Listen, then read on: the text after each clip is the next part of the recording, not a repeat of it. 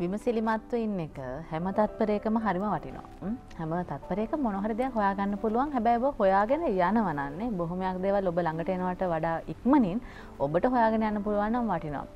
අධ්‍යාපනයට තැනක් සීමාවක් කෙනෙක් හරියටම මෙන්න මේ අයට විතරයි මේ දේ ඉගෙන ගන්න පුළුවන්. ඔබට විතරයි මේක අදාළ වෙන්නේ කියලා දෙයක් නෑනේ. ඕන කෙනෙක්ට ඕන දෙයක් ලබා ගන්න පුළුවන්. අධ්‍යාපනයේ විධිමත් නොවිධිමත් මේ ඕනම ආකාරයකට නේද? ඉතින් ඔබ සමහර වෙලාවට මේ අපි කතා කරන දේවල් මතක තියාගන්න එක සමහර වෙලාවට ජීවිතේ කොතන හැරි ප්‍රයෝජනවත් වෙයි. අපේ මේ බලාගෙන ඉන්න පිරිස අතර කාන්තාවන් වැඩිපුර ඉන්නවා. ආදරණය මව්වරු ඉන්නවා. ද මේ දවසට හැබැ පාසනි මාඩුවත් එක මනෝජ් දූ දරුවොත් ගෙදර ඉන්නවා. නේද? ඉතින් හැමෝටම වැදගත් වෙන්න දෙයක් හද අපි කතා කරනවා. කොයි වෙලාවෙ හරි ප්‍රයෝජනයක් වෙයි කියල හිතන දෙයක්. දැන් මේ ගොඩක් දෙනෙක් අධ්‍යාපනය ලබන්නේ රස්සාාවක් කරන්නේ ජීවිතයට යම් බත්කමක් එකතු කරගන්න ගොඩක් වෙලාවට. ඒ අතර හිතවත්කන් තියෙනවා හිතවත්කනුත් තියෙනවා. මේ එකන්නේ තමන්ට ජීවත්වෙන්න අවශ්‍ය වට පිටාවක් හදාගන්න වැඩිතුර ඉගෙන ගන්න තව කාටරි උදව්වක් කරන්න ගයක් හදන්න තව බෞතික අවශ්‍යතා ඕන තරම් තියෙන්න්න පුළුවන්. හැබැයි පුද්ගලය විදිට අපි කොච්චර පෝසත්ද දුප්පද්ද කියන එකට වඩා ලෝකයක් හමුව අප ඉන්න කොහෙද කියලා දැනගන්න එක වැදගත්න. දැන් ලෝක ආදායමානුව දළදේශය නිෂ්පාධිතය අනුව ඒක පුද්ගල ආදායම හොයාගත්තට පස්සේ දළදේශයේ නිෂ්පාධිත්වයට සාපේක්ෂව ලැබෙන ඒක පුද්ගල ආදායම අනුව ලෝක දුපත්සා පොහොසත් රටවල් වෙන් කරලා තියෙනවා. එක ඕනම කෙනෙක්ට වටිනාකමක් තියෙනවා කියලද කියන්න හදන්න? ඕ රටේ ආදායමට අනුවත් වටිනාකමක් තියෙනවා. වෙනම වටිනාකමකුත් තියෙනවා. දැන් අපි කියන්නේ රටේ ආදායම අනුව ඔවුන්ට ලැබෙන වටිනාකම ගැන. ඔවු. අපි ඇත්තටම බලමුද ලෝකයේ දුප්පත්ම රටවල් ගැන? ඔවු ලෝක දුපත් රටවල් විසිපහක් විතර වර්ග කරෝතින් බුරුන්ඩි රාජ්‍ය තමයි ඒ සටහන ඉස්සරහෙන්නේ කැන්නේ දුපත්ම රට විදිහට මේ විශවල් කැපරලිස්.කොම් අයිF එක කැන ජාතතර මුල්්‍ය අරමුදලේ දත්තත් සංසාධනය කරලා තමයි මේ සටහන සකස් කරලා තියෙන්නේ. ඒ අනු බුරුන්ඩි තමයි ලෝක දුපත්ම රට හැටියට කැන්නේ දළදේශී නිෂ්පාධිතයට අනුව එක පුද්ගලාදායම දෙස බලද්දී සඳහන් වෙන්නේ. ඒක අමරිකන් ඩොල දෙසිය හැට හතරක් කියලා සටහන් වෙනවා. මේ දුපත් රටවල් ගොඩක් අප්‍රිකානු කලාපේ බව ඔන්න ඔබ දකින සිතියම බැලෝම ඔබට පේනවා ඇති. කහපාටෙන් රෝස පාටෙන් දම්පාටෙන් තැඹිලි පාටෙන්. මේ සටහනට අනු අප්‍රිකානු කලාපේ බව පේනවා. එක මුළු අවුරුද්ධටම යනට ඩොල ඇමරිකානු ඩොල මිලියන දෙසි හැට හතරක් වගේ අනේ ආසන්නව ලැබෙනවා කියලා ඇමරිකානු ඩොලර් දෙසේ හට හතරක් විතර ආසනව ලැබෙනවා කියලතම මුළු අවුරුද්ධටම මේ දත්තවලින් සඳහන් වෙන්නේ. අර ආසන්න වශයෙන් ලෝක ඔක්කොම දුපත් රටවතින ඇප්‍රිකාව නමුත් හයිටි රාජ්‍ය ටජිකිස්ථානය ඒමනය සහ ඇෆ්ගනිස්ථානය යන රටවල් අනෙක් ප්‍රදේශවල ඇති කැපී පෙන දරිද්‍රතාවෙන් යුතු රටවල් විදිහට හඳුනගෙන තියෙනවා. ලෝකේ පොහොසත්ම රටවල් හඳුනාගත්තට පස්සේ ඒක පුද්ගල දරදේශ නිෂ්පාධිතයට අනුව පහලම සිට රටවල් මොනවද කියලා හරියට බලන්න පුළුවන්. අර මනෝජ් කලින් කිව්ව වගේ රටවල් 25ක් ගැන. අවධානය යොමු කරන්න පුළුවන් නේද? ඔව් දැන් බලන්න මේ බුරුන්ඩිවල වාර්ෂික ආදායම එක පුද්ගලයෙකුගේ මේ සාමාන්‍ය අගයක් ගත්තට පස්සේ අමරිකන් ඩොල දෙසිය හැට හතරයි මේක දොළ හැම්බෙදුව මාසික ආදායමෙනවානේ ඩොල විසි එකක් විතර මාසකට. ගැන රුපියල් හාර පන්දාහක් තමයි මාසික ආදායම වෙන්නේ. ත රොබේ ආදායමත් එක සැසඳුවට පස්සේ මේ දුපත් ජනතාව ජීවත්වන්නේ කොහොමද? උන්ගේ ආදායම් කොමද කිලොබට පේනවා ඇති. ඊට පස්සේ පිළිවෙලින් තවරටවල් කිහිපයක් බුරුන්ඩිවලට පහලින් තියෙනවා අචරනය ඕ දකුණු සුඩාන ඊට පස්ස තියෙන්නේ ඇමරිකාන් ඩොල තුන්සිය තුනක් විතර තමයි සඳහන් වෙන ඊට පස්සේ මලාබි ඇමරිකානු ඩොල තුන්සිය අනු නමයක් ඊට පස්සේ මොසැම්බික් රාජ්‍ය තියෙනවා. ඊට පස්සේ democratic republic of Congo Congo ජනරජ්‍යය. එතකොට මධ්‍යම අප්‍රිකාව වනු රටවල් සෙන්ට්‍රල් ඇෆ්‍රිකන් රිපබ්ලික් එතකොට ඇෆ්ගනිස්ථානය මැදගස් කරේ එතකොට සියරාලියෝන් නයිග කියන රටවල් ගත්තට පස්සේ දුප්පත් කමේ හිනිපෙත්තේ ඉන්න මුල් රටවල් දාය හැටියට සඳහන් කරන්න පුළුවන්. එක්සත් ජාතින්ගේ සංවිධානයට අනුව ටජිකිස්ථානය සහ සිම්බාබ්වේ හැර අනෙක් රටවල්. ඕන සංවර්ධිත රටවල් ලෙසට වර්ග කරලා තියෙනවා. ඕන සංවර්ධිත රටවල් ගණනය කරනු ලබන්නේ ඒක පුද්ගල ආදායම මිනිස් වත්කම් සහ ආර්ථිකයේ ඇති අනතුරකට භාජනය විය හැකි අවස්ථා යනාදියෙන් එකැන එක එක නිර්ණායක තියෙනවානේ ඔව. ඒව මත පදනම්ම තම මේ ගණනය කිරීම කරලා තියෙන්නේ. දැඟොය ඔබ දකින්නේ රටවල් විසි පහක් විතර ගත්තොත් ඒ රටවල් ස්ථානගත වෙලා තියෙන විදිහ බුරුන්ඩ ඉඳල පටන් අරගෙන මහිතන්නේ කෙලවරට යද්දී සඳහන් වෙනවා සිම්බාබ්වේ. එකැන දුප්පත් දරිද්‍රතා ලේකනේ රටවල් අතර විසි පස්සනි ස්ථානය සිම්බාබ්ව ඉන්නේ. බුරුන්ඩ ඉඳල සිම්බාබ් වෙනක රටවල්ටික තමයි ඔබෝය දකින්නේ. අද වෙනවිට ඕන සංවර්ධ රටවල්වල සියයට හැත්ත පහකට වඩා වැඩි ප්‍රමාණයක් දරිද්‍රතා දර්ශකයේ පහළම ස්ථානයක ස්ථානගතව තියෙනවා කියලා දකින්න පුළුව ඔව බලන්න නේද? ගැන දරිත්‍ර දර්ශකයටත් යටින් තමයි මේ අයගෙන් සියයට හැත්ත පහක් විතර ප්‍රමාණයක් ඉන්නේ. එතකොටේ දුප්පත්කමේ තරම එතනින් පේනවා. හැබැයි මේ අයට හොඳ අවස්ථාවක් තියෙන බව මේ සටහනේ දක්වල තියෙනවා අචල. විශවල් කැපිටලිස්ට.කොම් මේ සොයා ගැනීමේ. ඔවුන්ට මේ දියුණු වෙන්න හොඳ අවස්ථාවක් තියෙනවා.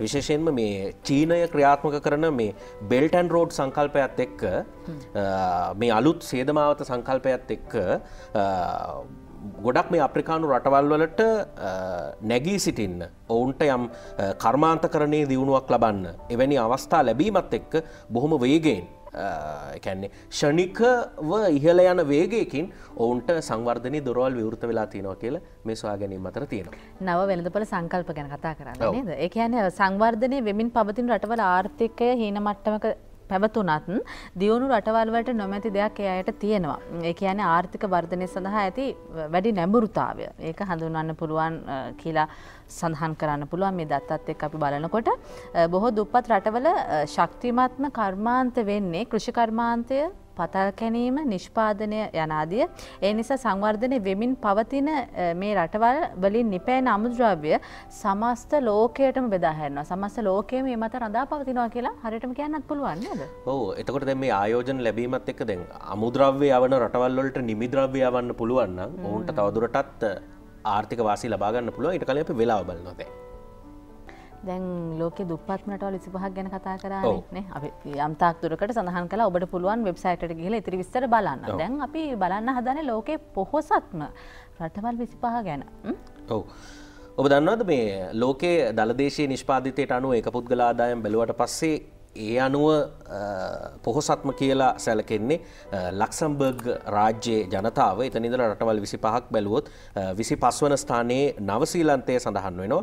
එතකොට මේ දළදේශය නිෂ්පාධිතයට අනුව වාර්ෂික ඒක පුද්ගල ආදායම අමරිකන් ඩොල එක් ලක්ෂ නමදහක් විදියට සඳහන් වෙන්නේ. බුරුන්ඩි දෙසී හැට හතරයි ලක්සම්බර්ග් එක් ලක්ෂ නමදාහයි. කොහොමද පරතරේ? ඊට පස්සේ ශිෂ්ටන්තය අයලන්තය නෝවේ ඇමරිකාව සිංගප්පූරුව ඩෙන්මාර්කය අයිස්ලන්තය බොහොමයක් රටවල් තියෙනද දන්න කියන රටවල් හැබැයිනි අර අපි පිළිවෙල තම හරිට දැනගන්න පුළුවන් වෙන්නේ. ඕන මොන තැන්වල දෙන්න කියලනේ ඒසත් කමති එහෙම බැලුවට පස්සේ මේ මුල් රටවල් වල මේ උතුරු අමරිකානු රටවල් යුරෝපිය රටවල් සහ ආසියානු රටවල් වගේම ඕෂණයා කලාපේ රටවල්. කියන්නේ ඔස්ට්‍රේලියාව නවසීලන්තය වගේ රටවලුත් මේ මුල් රටවල් විසි පහතර ඉන්නවා. එතකොට රටවල් පිළිවෙලින් සඳහන් කරවතින් ලක්සම්බර්ග් ස්විත්ස්ලන් අයලන්තය නෝවේ එක්සත් ජනපදේ සිංගපපුරුව ඩෙන්මාගේ යිස්ලන්තේ කටාසා ඔස්ට්‍රේලියාව පළවෙනි රටවල් දහය අතර ඉන්නවා. අප අර ලක්සම්බර්ග් එක්ලක්ෂ නමදාහක් කිව්වනේ එක පුද්ගල ආදායම වාර්ෂික අමරිකන්ඩොල එතකොට ඔස්ට්‍රලියාවට එද්දි පනස් එක්දා සටසය අසූපහක් විදිර තමයි සටහන් වෙලා තියෙන්නේ. රසවත් කරුණක් වෙන්නේ ජනගහනය අඩු රටවල ඉහළ මට්ටමක එක පුද්ගල දළදේශය නිෂ්පාධිතය පිහිටීම. දැ අපිට උදාහරණ විදිහට දකින්නත් පුළුවන්. අයිස්ලන්තේ පළමු දහ දෙනා අතර ඉන්නවා. එකටත් යම් යම් හේතු තියෙනවා.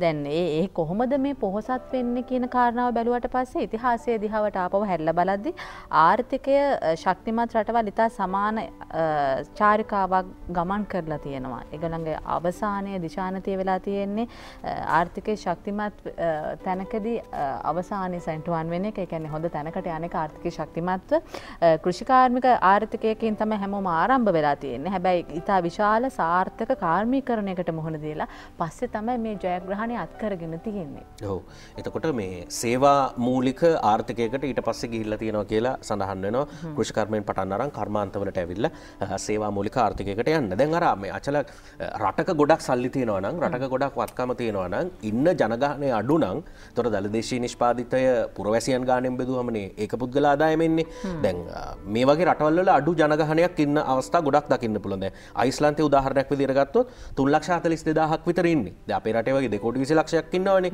අයිස්ලන්තේ තුන්ලක්ෂ හතලිස් දෙදාහයි මේ දර්ශක ඉහලින්ම ඉන්න ලක්සම්බර්ග් වල හයලක්ෂ තිස්තුන් දහක් විතර ජනගහනයක් ඉන්නේ රටේ සමස්ත ජනගහන්න. එහම බැලුවට පස්සේ මේ බෙදියාම මේ දර්ශකත්තක ගත්තම ඉහලින් ඉන්න ඒකත් බලපාල තියෙනවා ආර්ථික මේ තරම් ශක්තිමත් වෙන්න මොනවගේ කර්මාන්තවලද නිරත වෙන්න කියන කාරණ ඉතාම වැදගත්ත මනෝජ්. ලක්සම්බර්ග ඉහලින්ම ඉන්නවනේ. එයාලගේ කර්මාන්ත අතරිනුත් ඉහලින්ම තියෙන්නේ බැංකු සහ මූල්‍යමය සේවාවන්. ඊළඟ පොහොසත් රටවල ප්‍රධාන කර්මාන්ත බැලුව ශිෂ්ට ලන්තය බැංකු සහ මූල්‍යමය සේවා කෘෂි කර්මාන්තය. එයගේ ප්‍රධාන කර්මාන්ත වෙනවා. අයර්ලන්තේ ස්වභාවික සම්පත්. ඒ ඇන කෘෂි කර්මාන්තය මත්සය සහ එකන වනාන්තර පතල් ෞෂධ වගේ දේවල් තමයි ප්‍රධාන කර්මාන්ත වෙන්නේ. නෝවේ තෙල් ජලවිදුලිය අපි සීෆුට්නේ ඒ වගේ ආහාර. ආහාර. ඒ වගේ දේවල් ප්‍රධාන කර්මාන්ත විදිහට දකින්න සලකන්න පුළුවන්. තා විස්සර දකින්නත් පුළුවන්නේ ඕ ඒක තමයි දැ මේ සිංගප්පුරුව වගේ අද්දී මූල්්‍ය මේ කටයුතු ඒත් එකම නිෂ්පාදනය තිල් සහ ගෑස් ආශ්‍රිත ආදායම උපයනෝ. එතකොට ඉඩම් සෞඛ්‍ය සේවා සහ තාක්ෂණය අමරිකා වගේ රටවල් ගත්තොතේ.